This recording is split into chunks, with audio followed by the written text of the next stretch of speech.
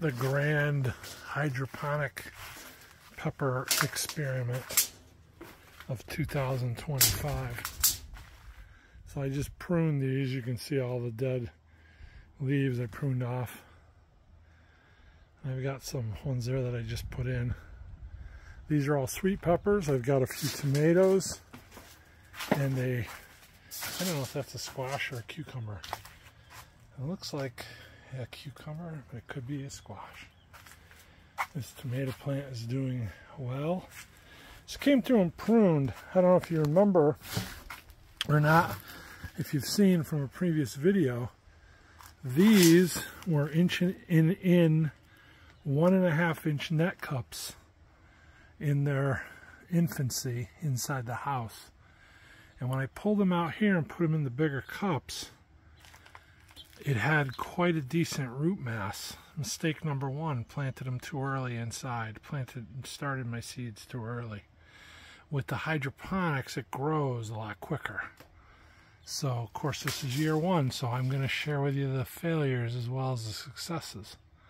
So, um, note number one, don't plant so early next year. But I might still plant early if I can find a way around that net cup thing, which I think I did. I think what I have here is I've transplanted them into bigger net cups. I found over here, by not using net cups, I don't know if I'm crazy about this, this corrugated metal, but I don't, I don't have net cups. I just, you know, adjusted the hole slightly and you can tell it's a tight fit with the noodle. I think that's going to work better.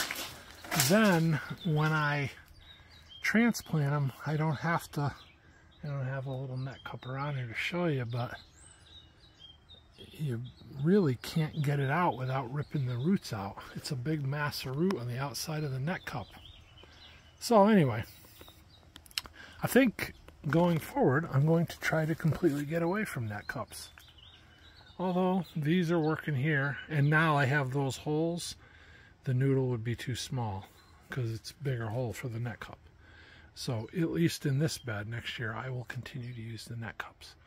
Those I have little pieces of tarp and I haven't taped over because I don't get complete coverage from the rain. And this reservoir is still pretty full. Nice healthy root mass reservoir is still pretty full. I think what I'm doing is I'm, um, it really poured like every which way and it, you know, comes sideways. I think if it gets on the top here, it'll seep in. So I think I'm taking in some rain, which everything I've researched about the science of hydroponics, this Kratky passive hydroponic system, the plant will use more water than nutrient. So as the roots go down and deplete the reservoir under here, the the ratio will be heavier with nutrient. It'll take up more water than it will nutrient. And then so then when whatever I try to build this in a way that it's minimum minimal um, evaporation but when it evaporates, it should evaporate more water than the nutrient as well. So as the reservoir goes down, the nutrient ratio should get heavier. So I'll just say that to say that I'm not too concerned about a little rain dilution, but obviously at some point it'll be a concern. We just had a couple bad storms, but typically we suffer drought in the summer. So I'm going to just play it by ear, but it hasn't seemed to affect it so far. They're doing well. And in fact, I'm going to show you this. I just trimmed this off by mistake. I, my eyes are not as good as they should be, or could could have been, or were at one point. And I went to clip onto a little branch, and I was on the branch that had the pepper. So I'm going to eat this pepper. But you can see there are little peppers starting.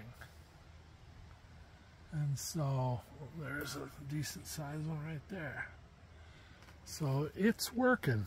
it's definitely working. I got flowers on my tomatoes. And so, yeah, stay tuned going forward. It's just an experiment, year one.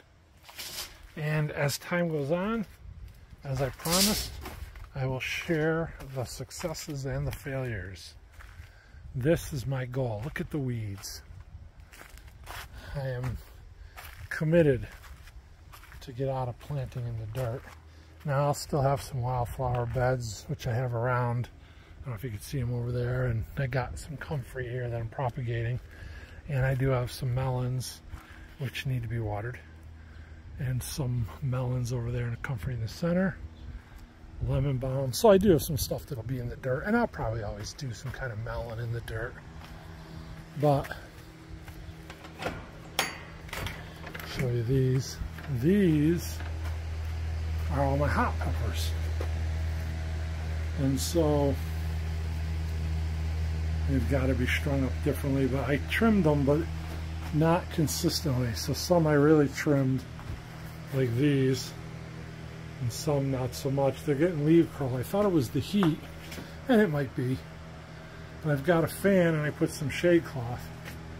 These squashes are doing, I think that's a cucumber over there and the rest are squashes. They're doing well.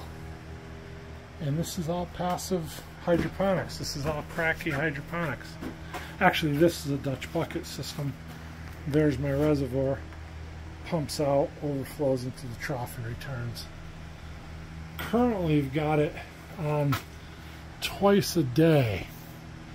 And as I'm saying this, I'm kind of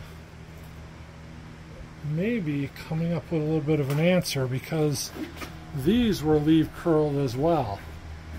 And they still are a little but not quite as bad.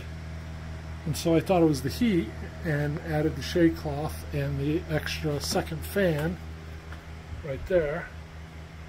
And this side is seeming to get better with the leaf curl. So, this is it decision made in the middle of this video. I am going to extend this to flood three times a day instead of two.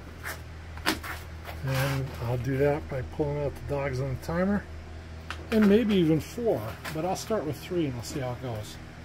Possibly, now the drains are two inches up on the buckets. I can't pull them out, but they're you know, so those are filled with perlite and coconut coir. So even when the system shuts off, I should always have a two inch reservoir in each one. And I think that that is adequate. Should be adequate by uh, videos I watch from other people doing it. That's kind of the norm for the Dutch buckets and I haven't seen anybody report problems about it. So I'm not sure but it, it, but then again, they don't always grow in greenhouses either, right? So it will be a little hotter in here. So I'm going to try to up the frequency. I'm going to flood three times a day and see if that makes a difference. Thanks for watching. God bless you.